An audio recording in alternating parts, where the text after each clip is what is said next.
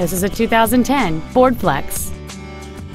It has a 3.5 liter six cylinder engine, a six speed automatic transmission, and all wheel drive.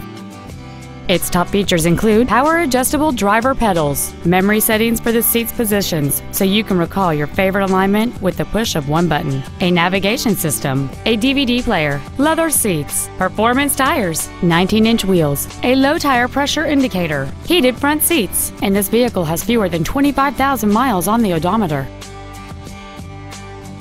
Please call us today for more information on this great vehicle.